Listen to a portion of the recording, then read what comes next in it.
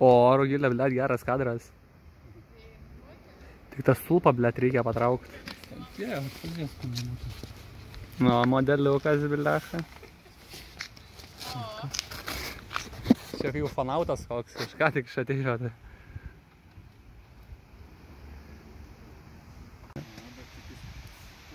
Aš noriu ir kojytės jos užfiksuoti. O kur šypsena rugilė? Geriau? Kepinau. Kaip vaizdas atrodo, kaip nufilmuoti. Ir čia. Šarčiau prieik. Matysiu. Matosi, o man. Eik tu, načart. Čia ta nuotrauka didelė darai, ne? Nu, tokia, nu, dvigubai didesnė negu buvo.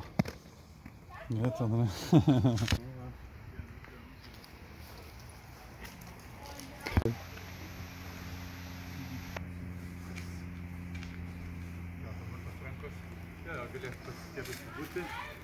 Ta kolona taip, taip traf, dar taip, žinai, kaip, kad tokia, aha. Bet ir rankas abi dvi uždedi čia. Aha. Kolona netiesiai. O kodėl kolona kreiva? Nu, kas tokio. Gerai, irgi. Neįdėti irgi, pa- pabandyk papuototi. Eik tada.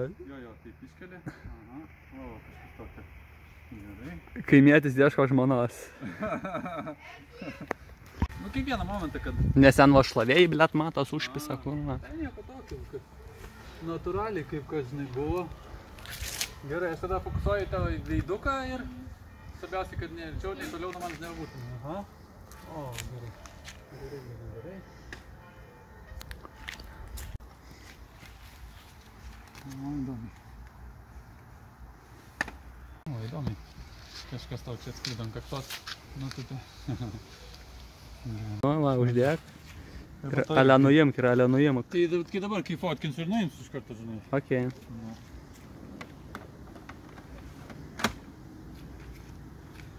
Irgi sekundę kažkur pabūti. Ai, tai fotinį tai pavat, va, sekundė. Nu.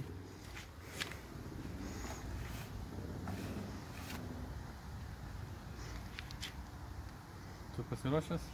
Mhm. Pasiruošęs, nemirksi. Vienas, du.